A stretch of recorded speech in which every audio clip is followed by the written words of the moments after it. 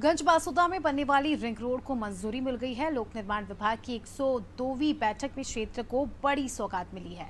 विधायक लीना ने प्रेस वार्ता कर जानकारी दी। विधायक ने बताया कि रिंग रोड लगभग 24 किलोमीटर की होगी। साथ ही जो लाखों रुपए में बनकर तैयार होगी। इसी के साथ आपको बता दें कि पिछले कई सालों से क्षेत्र में रिंग रोड की मांग बहुत ज़ोर पकड़ रही थी। नगर को ट्रैफ़िक जाम और हैवी वाहन प्रवेश से मुक्ति दिलाने के लिए रिंग रोड की आवश्यकता भी थी।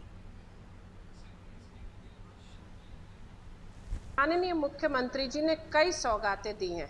उसमें एक अस्पताल, खेल stadium, smart city, CM rise school, PM Shri school, anganwadi भवन, केसरी बैराज, हमारे नई मंडी तक street light, Parasari bridge, line shifting और सबसे आखिरी और सबसे प्रमुख सौगात हमारी रिंग रोड, जो बहुत समय से प्रस्तावित थी।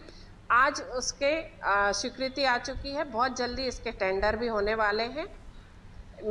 सौगातें तो इससे भी ज़्यादा मिली हुई हैं। जैसे कई रोडें और कई ग्रेवल रोड कहने के लिए स्टॉप डैम जैसे कई सौगातें मिली हुई है।